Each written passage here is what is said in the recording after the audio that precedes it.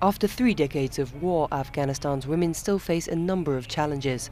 Violence, sexual assault, and lack of enforcement of Afghan laws that protect them are faced by many women every day, many of whom are unaware of their own rights as protected in the Afghan constitution. Herat is one of the more secure provinces in Afghanistan, but like other areas, it has a number of vulnerable women. The city's female prison holds 140 inmates. Their children often live alongside them. According to prison officials, they're accused of various crimes, ranging from drug trafficking and murder to running away from home.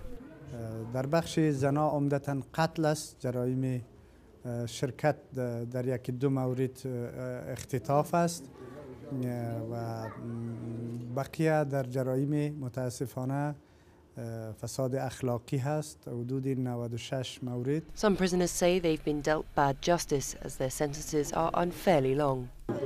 جرم تقریبا ده ماه میشه بیامدم محکمه 6 سال دومم تایید کرده 6 ساله با یک زن 6 سال جرم به نظر من خیلی باز Lailuma Muradi is accused of killing her husband.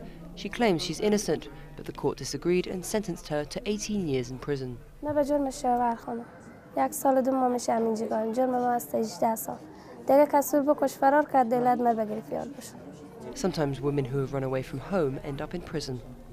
Although often presented as a crime in Afghanistan, if a couple run away together, present themselves at court and apply to get married with the agreement of their families, they will both be pardoned. This woman says she ran away because she wanted to marry the man that she loved. به جرم فرار از منزلم به خاطر که کدام مشکل خاصی نداشتم. فقط چون هم دیگر ما دوست داشتیم فرار کردیم و مشکل خانوادگی داشتیم. چون نمی‌تونستیم با هم ازدواج کنیم. از راه قانونی به او دلیل ما هم تونستیم فرار کنیم. وقتی که فرار کردیم مدت دو روز یعنی نبودیم بعد از دو روز دستگیر کرد پلیس مار. Soraya Sabrang is a women's rights activist. She says last year in Afghanistan, violence against women showed a 37% increase. However, this may be because more women are coming forward to report cases of violence. According to her organisation, the Afghanistan Independent Human Rights Commission, during a seven month period, 4,000 cases of violence against women were registered with them. She says 90% of these were rape victims, where the majority of the victims were below 18. ازدواج اجباری بد دادن هست.